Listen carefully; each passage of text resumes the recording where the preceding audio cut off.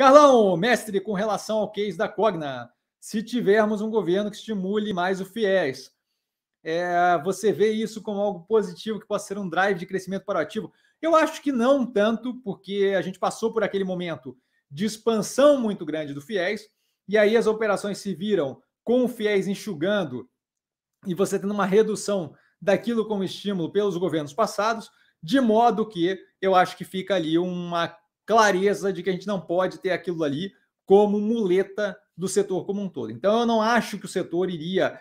É, eu acho que o setor iria se aproveitar da situação e ia crescer um pouco mais, mas não acho que o setor iria é, alocar tanto recurso, foco nesse tipo de coisa, dado o susto no passado de ver aquela fonte secar e você tinha basicamente uma operação baseada naquilo. Tá? Então, eu não acho que a gente volta a ver o tipo de operação que se tinha no passado, onde era basicamente estímulo governamental que mantinha as operações crescendo. Caso da Croton, quando era Croton, que é a Cogna hoje.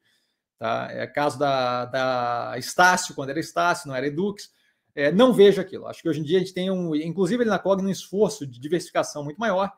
É, é, é sempre mais positivo quando você tem algum nível de estímulo da, do, do governo? Sim, mas não acho que é o tipo de coisa que vai ter aquele efeito avassalador que a gente tinha no passado, por causa justamente do susto de ter que voltar atrás e começar a recuar e ter que justamente resolver todo aquele teu balanço basicamente baseado em, em, uma fonte do governo que está secando.